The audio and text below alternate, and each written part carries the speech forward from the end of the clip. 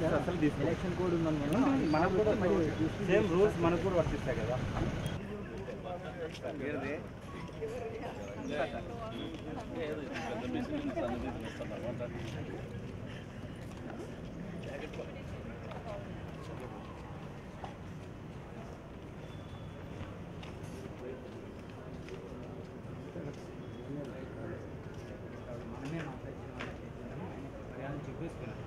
ఎస్బిడిఎస్పీ sir వచ్చి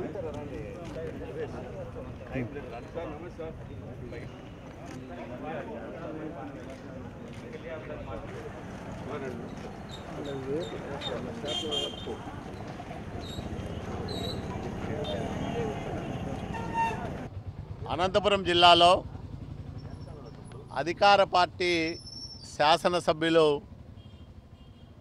కొంతమంది police అధికారులను అడ్డపెట్టుకొని అక్రమంగా దొడ్డిదారుల్లో ఏకపక్షంగా ఎన్నికల్లో లబ్ధి పొందడానికి తీవ్రంగా ప్రయత్నం చేస్తూ ఉన్నారు.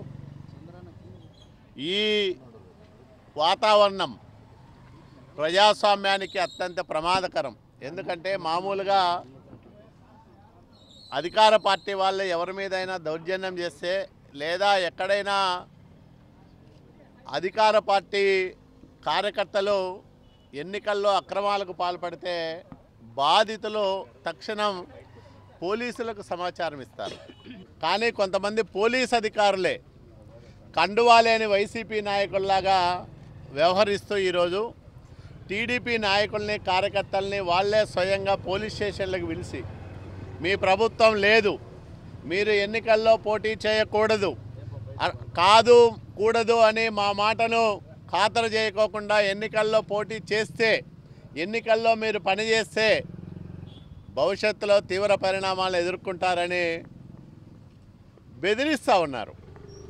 ముఖ్యంగా రాయదుర్గం రూరల్ సిఐ రాజా అయితే గత నాలుగైదు రోజులుగా ఇదే పని మీద ఉన్నాడు.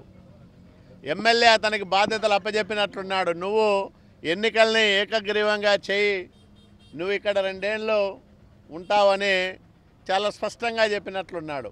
కాబట్టి అతను ఇదే పనే ఇంకా. శాంతి భద్రతలు అతని డ్యూటీలన్నీ వదిలేసి తెలుగుదేశం పార్టీ నాయకులను బెదిరించడమే పనిగా పెట్టుకున్నారు. ఈ విషయాన్ని ఈరోజు ఎస్పీ గారికి చెప్పాం. అట్లాగే ఎన్నికల కమిషన్ దృష్టికి తీసుకొస్తా ఉన్నాం. ఎవరైతే ఈ ఏకపక్షంగా అధికార పార్టీ నాయకుల కనుసన్నల్లో ప్రజాస్వామ్య విలువల్ని వాళ్ళే పాతరేసి వ్యవహరిస్తూ ఉన్నారో అట్లాంటి అధికారులందరినీ కూడా ఎన్నికల విధుల నుంచి పక్కన పెట్టి వా వేరే ఒక నిష్పక్షపాతంగా పనిచేసే అధికారులను ఈ ఎన్నికల డ్యూటీకి నియమించమని మేము అభ్యర్థించాం. ఎస్పీ గారు పరిశీలన చేస్తామన్నారు.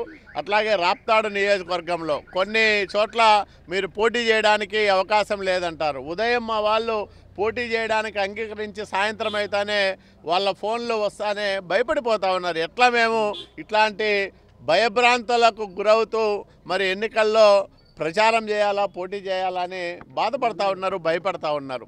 ధర్మవరం నియోజకవర్గంలో అట్లాంటి వాతావరణమే ఉంది. మనం చూసాం తాడిపత్రి నియోజకవర్గంలో సింగళమల నియోజకవర్గంలో రెండు మండలాల్లో ఈ సమస్య ఉంది.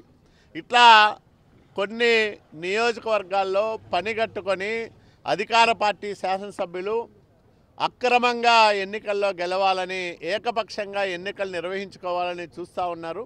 దీన్ని అరికట్టమని ఎన్నికలు నిష్పక్షపాతంగా ప్రశాంతమైన వాతావరణంలో జరిపించడం ద్వారా ప్రజలందరూ కూడా స్వేచ్ఛగా వాళ్ళ ఓటు హక్కును వినియోగించుకొని ప్రజాస్వామ్యాన్ని బతికించుకోవడానికి అవకాశం కల్పించమని ఎస్పీ గారికి విజ్ఞప్తి చేయడం జరిగింది. ముఖ్యమంత్రి జగన్మోహన్ రెడ్డి గారిలో చాలా మార్పు కనిపిస్తూ ఉంది. ఆయన ప్రమాణ స్వీకారం చేసినప్పుడు కలెక్టర్లు ఎస్పీల సదస్సులో ఎవరైనా అక్రమాలకు పాల్పడితే అవినీతికి పాల్పడితే వారిపైన చర్యలు తీసుకోండి అని చెప్తూ మరోపక్క మా వైఎస్ఆర్ పార్టీ వాళ్ళు అక్రమాలకు అవినీతికి పాల్పడినా వాళ్ళపైన కూడా చర్య తీసుకోండి అని ఆ రోజు చెప్పాడు. కానీ ఈరోజు ఏమంటున్నా అంటే ఈ యొక్క అక్రమ మద్యం ఎన్నికల్లో లేదా మరి డబ్బు పంపకాలు చేస్తే వాళ్ళపైన కేసులు పెట్టండి దానికి యాప్ పెడతామంటున్నాడు. అంటే అధికార పార్టీ గురించి మాట్లాడడంలే. సహజంగా డబ్బు మద్యము పంపకాలు చేసేది అధికార పార్టీ వాళ్ళే. ఎందుకంటే వాళ్ళు అధికారంలో ఉన్నారు కాబట్టి జేబులు బాగా నిండింటాయి. ఎన్నికల్లో కూడా డబ్బు ఖర్చు పెట్టే సత్తా వాళ్ళకు ఉంటుంది. ప్రతిపక్షాలకు ఉండదు. కాబట్టి ఆ దాన్ని ఆ చట్టాన్ని ఉపయోగించుకొని ప్రతిపక్షాలు పోటీ చేయకోకుండా ఒకవేళ పోటీ చేసి గెలుపొందినా మరలా వాళ్ళని అనర్హులుగా ప్రకటించేదానికి మరి ఈ చట్టాన్ని తీసుకొచ్చాడు. మరి ఈరోజు కూడా ఆ మాట ఎందుకనకూడదు? ప్రమాణ స్వీకారం చేసేప్పుడు మా వైఎస్ఆర్ పార్టీ వాళ్ళు కూడా ఇటువంటి అక్రమ మద్యము లేదా డబ్బు పంపకాలు చేసినా లేదా ఈ అక్రమాలకు పాల్పడి గెలిచినా వాళ్ళు కూడా అనర్హులుగా ప్రకటిస్తామని గతంలో చెప్పిన మాటలు ఇప్పుడెందుకు చెప్పలేకపోతున్నారు? కాబట్టి తొమ్మిది నెలల కాలంలో చాలా మార్పు వచ్చింది. మరి జగన్మోహన్ రెడ్డి గారు ప్రజల ఆదరాభిమానాలు చురగొనాలంటే నిష్పక్షపాతంగా ఈ ఎన్నికలు జరిపించాలి. అట్లా కాకుండా ఏకపక్షంగా ఈరోజు అప్పుడే చీరలు పంచుతూ ఉన్నారు. మరి యథేచ్ఛగా పత్రికల్లో వస్తూ ఉన్నాయి. మరి వాలంటీర్స్ అంతా కూడా వైఎస్ఆర్ ప్రచారం నిర్వహిస్తూ ఉన్నారు.